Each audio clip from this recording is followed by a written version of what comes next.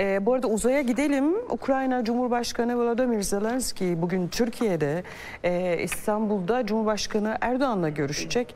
E, görüşmedeki başlıklar önemli. Hemen hemen tahmin ediyoruz. E, ama uzay biraz bizi detaylandıracak. E, bakın.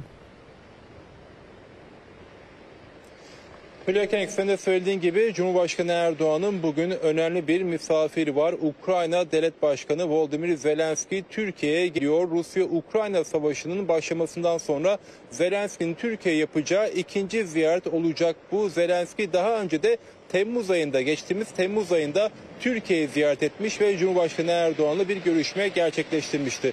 Bugünkü görüşme akşam saatlerinde saat 19'da başlaması planlanıyor. Dolmabahçe'deki Cumhurbaşkanlığı Çalışma Ofisi'nde Zelenski Cumhurbaşkanı Erdoğan'la bir araya gelecek. Hem baş başa hem de heyetler arası görüşme gerçekleşecek.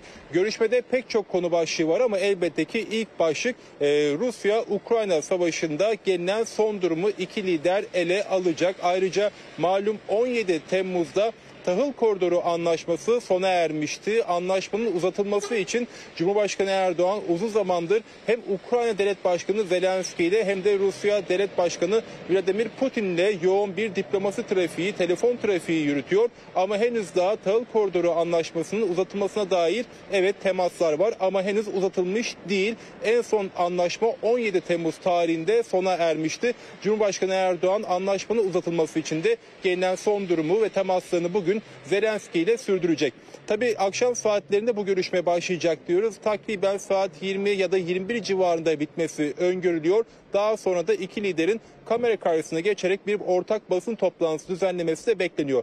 Diğer yandan da Cumhurbaşkanı Erdoğan'ın bugün İstanbul'da başka programları var. Oldukça yoğun bir program var İstanbul'da. Bugün malum 8 Mart Dünya Kadınlar Günü. Dolayısıyla Cumhurbaşkanı Erdoğan da Aile ve Sosyal Hizmetler Bakanlığı'nın bugün düzenlediği Türkiye ile güçlenen, Türkiye'ye güç veren kadınlar programına katılacak. Bu program saat 14.30'da Haliç Kongre Merkezi'nde olacak. Cumhurbaşkanı Erdoğan da bu programda bir konuşma yapması bekleniyor. Saat 16.30'da ise Cumhurbaşkanı Erdoğan artık e, geleneksel hale gelen her yıl düzenlenen TÜGVA Gençlik Buluşması'na katılacak. Sinan Erdem spor salonunda bu programda saat 16.30'da başlayacak. Yine bu programda da Cumhurbaşkanı Erdoğan bir konuşma gerçekleştirecek. İşte tüm bu programlar bittikten sonra da saat akşam 19'da Cumhurbaşkanı Erdoğan Ukrayna Devlet Başkanı Volodymyr Zelenski'yi Dolmabahçe'de ağırlayacak Hülya Könek.